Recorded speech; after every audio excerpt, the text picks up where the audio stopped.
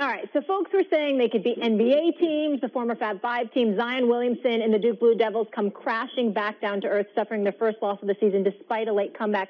Stephen I know you thought they were going to go undefeated. Do you think you overrated this team? Yes, I did, but I didn't say they were going to go undefeated. I said it's possible they could. That's number one. Let's be very, very clear. Number two, my whole point is I think that also we, we, we got a little bit beside ourselves because of the incredible athleticism of Zion Williamson. R.J. Barrett is big time. I think he's the best player on the team. Couple of things. Emotionally, I think Coach K was right. They weren't ready. Defensively, they they they they, they were a bit soft. But more importantly than that, here's the biggest reason why I think we may have overrated them. And when I say overrated, I mean they're still an elite team. I think they still will compete for the national championship. I think they'll still win 30 games at least this season. I don't. I'm just talking about the manner in which we were talking about them. What really resonated with me about Duke is the fact that Gonzaga went to zone. And I watched these guys struggle with their perimeter shooting. Barrett shot 9 of 25 from the field. 9 of 25. Zion Williamson only took one, one three point shot and he missed or whatever. But I saw hesitancy. I saw reluctance. And I believe in the collegiate game, especially the collegiate game, they are quick to take away that man on man kind of encounter. They will go zone because all things are not created equal. More so in college than it is on the NBA level. So if you got a superior athlete, Max, you notice like a Zion or RJ Barrett or whatever.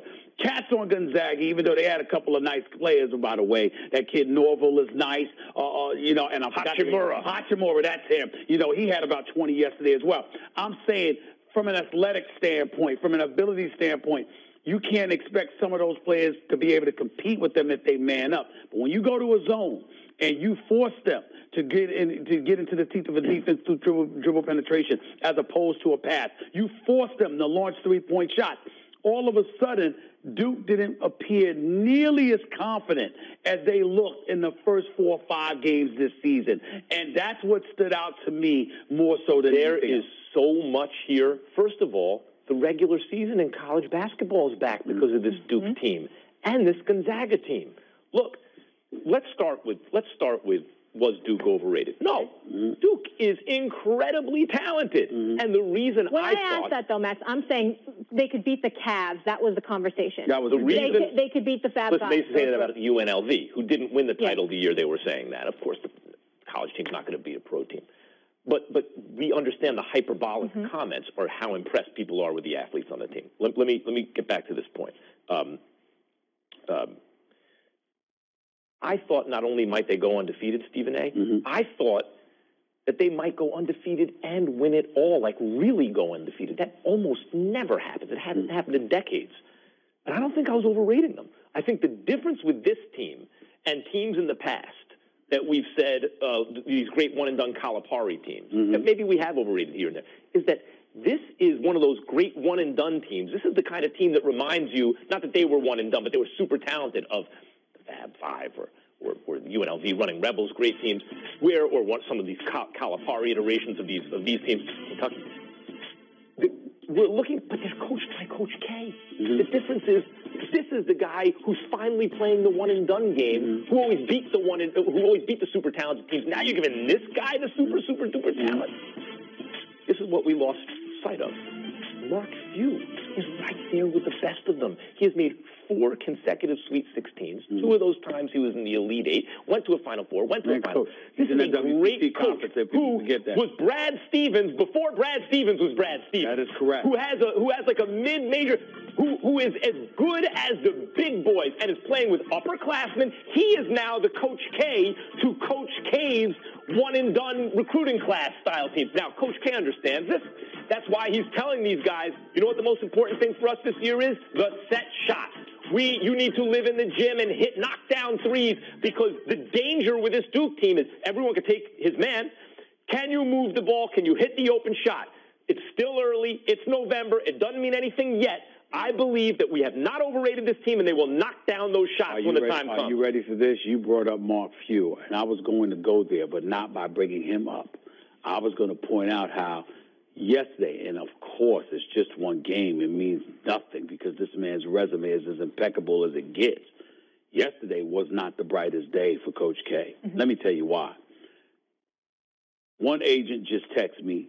Several of them have said this to me. You play through Cam Reddish.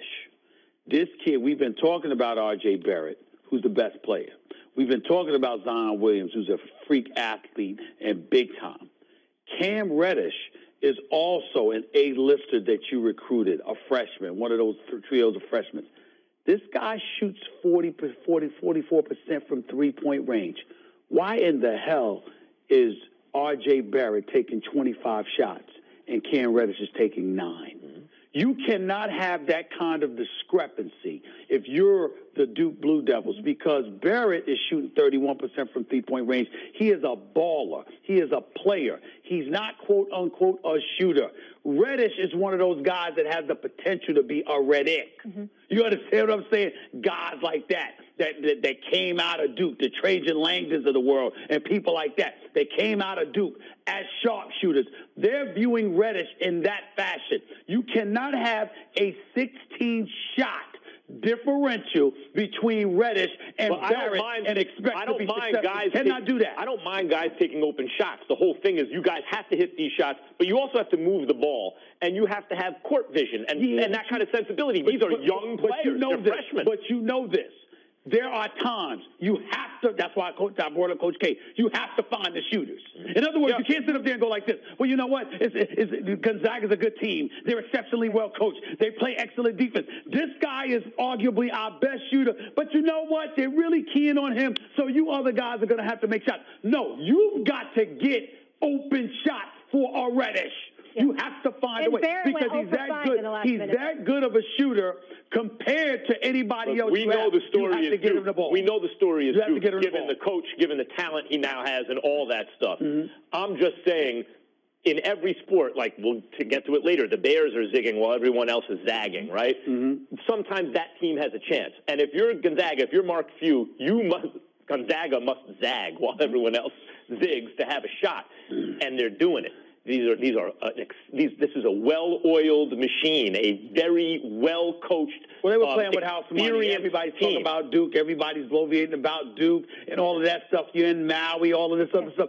Gonzaga, listen, Gonzaga ain't gonna go undefeated. But No. the point is, the point that I'm trying to make to you is that they were playing that good of a team playing with house This money. could be the a best thing for that happens to Duke. Sure, Right, but Sure. like you think about a team that goes to Sure. Like in, in, in that level school, going to four straight Sweet 16s. Mm-hmm. You know, in a tournament, it, it is a little luck based, right?